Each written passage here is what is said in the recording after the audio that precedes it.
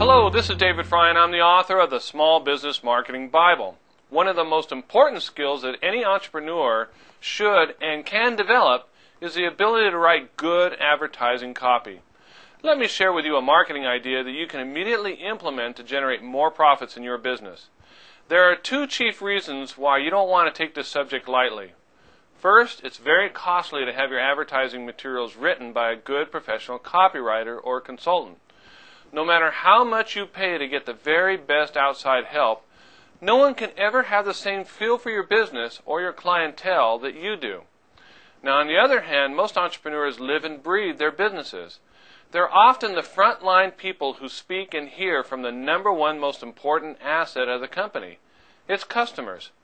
So, let me give you a great tip to writing good copy for your business, especially if you're not a great copywriter. Simply go to the top two salespeople in your company. Ask them to write down, word for word, what they say to their prospects to get them to buy their, your products or services. And then craft a sales letter from that. This type of sales letter will outperform the high priced ad agency sales letters by at least 300% or more. Now, if you would like more innovative small business marketing ideas, visit marketingbestpractices.com. And while you're there, feel free to download my ebook titled The Six Deadly Small Business Marketing Mistakes and How to Avoid Them.